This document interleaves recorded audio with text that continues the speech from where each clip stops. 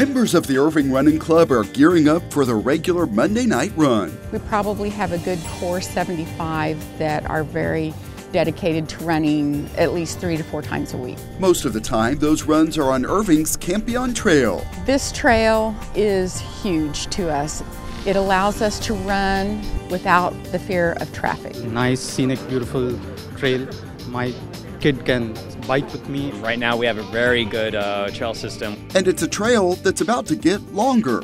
Crews are just about finished adding 2.7 miles of trail from the north end of Sam Houston Trail Park under MacArthur Boulevard and into Coppell. That'll complete the north end of Campion Trails. It'll give us, on the north end, give us about eight and a half miles. A Dallas County grant is paying for the addition. We've been so fortunate that Dr. Elba Garcia has worked with us very, very closely to achieve a lot of the dollars that we've needed. Every single time they come with a project, they're ready to go. And that makes you know, these opportunities unique. That new section is scheduled to open in the fall, and runners are ready. I like the long straightaways because uh, that's when you'll be able to really uh, push yourself and open up for some speed. Elsewhere on the trail, a new canoe launch is under construction at Birds Fort Trail Park.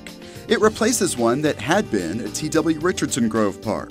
Canoe launch had been there for many years, probably 15 years now. The floods of 2015 really eroded the bank of the river all along there and it really wiped out the canoe launch. Because of that, we were able to get some FEMA funding. The city's capital improvement team believes the new location will be less prone to flood damage, more easily accessible, and more visible. Across town, there is also work that will get underway on the southern section. The Campion Trail through Trinity View Park is expected to connect with Dallas's Trinity Skyline Trail by fall of 2019. It's another five mile extension up to Irving Campion.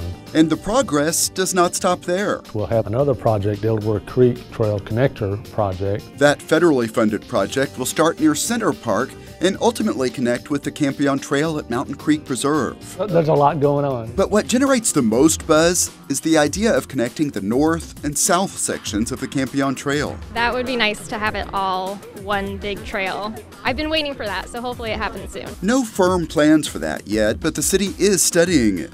This year I'm looking at all the different property owners and easements that's needed for that project and updating my costs. What we've been able to accomplish uh, in the city of Irving is through donations of land. We've been able to do quite a bit of it, but we're at kind of at a point where we're crossing some waters and we're having to deal with some different obstacles than we have in the past. So connecting north and south will be more expensive than other trail projects, but Dallas County has already allocated some funds that could cover a lot of the cost. The Trail Board of Dallas County, and I want to thank them for the leadership as well, just approved $6 million to go ahead and close the gap north and south of Campion Trail. If this happens, it will be the longest trail in Dallas County, 23 miles continuous. Already, leaders say the city is seeing benefits from the existing trail.